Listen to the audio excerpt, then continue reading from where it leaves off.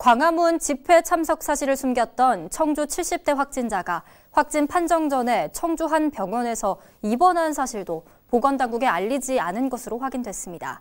그 사이 이 확진자와 같은 병실을 썼던 60대가 뒤늦게 확진 판정을 받는 등 방역망에 구멍이 뚫렸습니다. 황정환 기자입니다. 문이 굳게 닫혀 있는 청주 서원구 한 마취통증의학과 의원.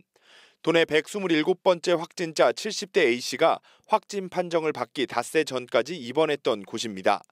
하지만 광화문 집회 참석 사실을 숨겼던 A씨는 초기 역학조사 과정에서 이 병원 입원 사실도 밝히지 않은 것으로 확인됐습니다.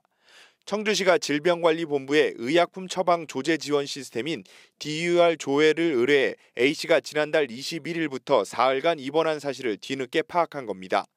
A씨의 역학조사 시점은 보건당국 지침에 따라 의심 증세를 보였던 지난달 26일을 기준으로 이틀 전인 24일. A씨는 보건당국에 입원 사실을 알릴 의무가 있었던 것인데 이를 숨겼고 확진자 진술에만 의존했던 초기 역학조사는 결과적으로 허점을 드러낸 겁니다.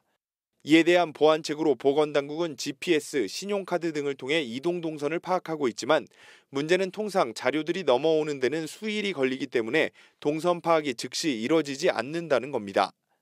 전국적으로 환자가 많이 발생하지 않을 경우에는 한 3, 4일 정도면 이 정보가 옵니다. 그런데 지금 전국적으로 특히나 수도권을 중심으로 워낙 확진자가 많이 발생하고 있기 때문에 이런 경우에는 뭐 일주일도 걸릴 수도 있고요. 한 열흘까지도 정보를 받는데 시간이 걸리기도 합니다. 결국 A씨가 동선을 숨기면서 뒤늦게 방역 조치가 이뤄진 이 병원에선 추가 확진자가 한 명 발생했습니다. 도내 131번째 확진자로 옥천군에 거주하는 60대 여성 B씨입니다. B씨는 A씨와 지난달 21일부터 사흘간 병원 내 같은 병실에서 입원한 것으로 알려졌는데 1일에서야 접촉자 통보를 받고 이튿날 확진 판정을 받은 겁니다. 이에 B씨가 거주하는 옥천은 물론 보은 지역도 비상이 걸렸습니다. B씨가 보은의 한 병원 간호사로 일했기 때문인데 B씨가 확진되기 전 거쳐간 대전과 옥천 일대 식당과 병원, 시장, 그리고 보은 지역 한 병원 등에서 접촉한 사람만 현재 200여 명에 이릅니다.